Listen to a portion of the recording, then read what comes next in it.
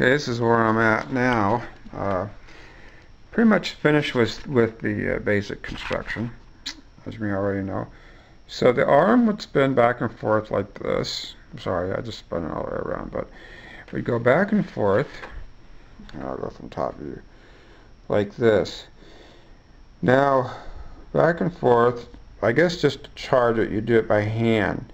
And then it would move back and forth by itself after charging. The reason why I say that is because um, Stefan Marinov, in his description, uh, he, he, kind of indicates that.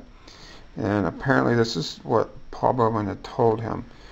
And uh, what it does, uh, like the Zamboni motor, is that when it approaches a polarity, opposite polarity, uh, it carries a charge, let's say positive charge, to this negative uh, polarity. And when it gets there the charge changes. And then this becomes negative as well as this and forces it back this direction as a positive charge. And then when it gets over here this one's positive. And then it bounces back. And so it would go back and forth like that uh, similar to this the Zamboni uh, motor um, in any case, my next step, well, I'm a little baffled about the horseshoe magnet because uh, the uh, replica already has this magnet in place. Now one does have aluminum foil on it, the other one doesn't. but since it's already in place, why didn't they go ahead and put the coils on it if it had coils? I'm suspecting maybe it doesn't even have coils. That perhaps, uh, now I do suspect, since it doesn't make a full revolution, that there's probably a wire connection to this because it, uh, it wouldn't affect affect it to have a direct connection that way. Um, so I think there might be a wire going from here to the magnet and then from this side over to this side coil or not. If there's no coil, then perhaps it's disconnected uh, and the energy runs through the magnet this way and then back up to this side and then out here. If I take this off, you can see I put I put a nail in here and on the other side ran the nail through and made a little loop. Uh, this is how I did this for both sides. This is how I'm going to attach the wire that would come from this, whether it comes from a coil or not. Uh, that's how I'm going to do that. So that's how that works. And I wanted to just quickly show you these pots. I actually, uh, I have the the um, the bottom cap and the top caps done now. Uh, the middle of the pots, how I do those might change. So if I take this off, you can see how I have this lined up uh, for the um, for the inside containers. you want to try to cut these as flat as possible, but if you don't, uh, they'll still, uh, because of the ridges, they'll straighten up anyway. Um, if I take take the cylinders apart here, I can show you at the bottom half also is lined up accordingly. And uh, this is this might be a little difficult for people to, to do it the way I did it um, but I actually made a mold and uh, casted this mold.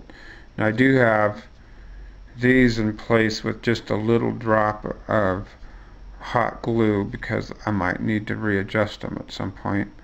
Uh, I haven't fixed it in place just yet.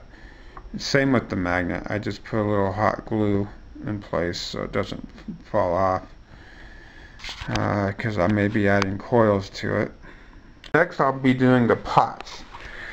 Now the pots, uh, I have made these before and I've made them the way they're they've been suspected as far as being made where it was just cylinders with uh, perforated metal in between And um, in any case, there's supposed, there's supposed to be a coil down the center. And so I was thinking about how to do the coil, and I was looking at this book here. And it tells you, um, basically it tells you how to do the coil uh, in order to make it north, south, south, north.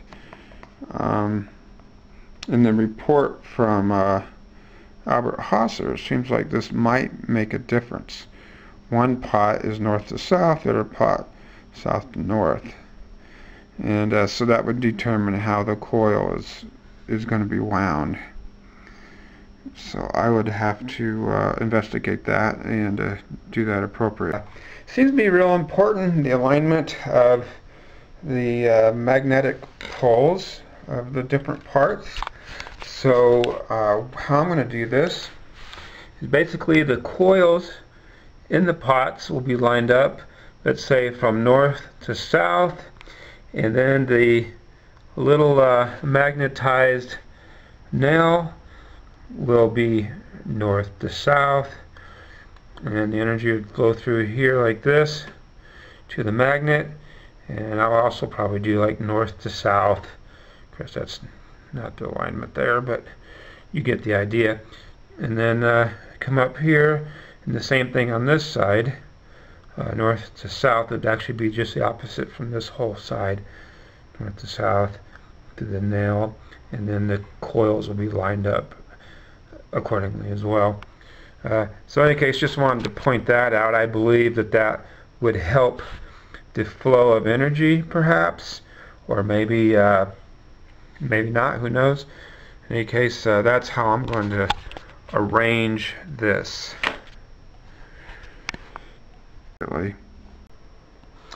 real fast I'm going to go over my uh, my electrical diagram here real quick.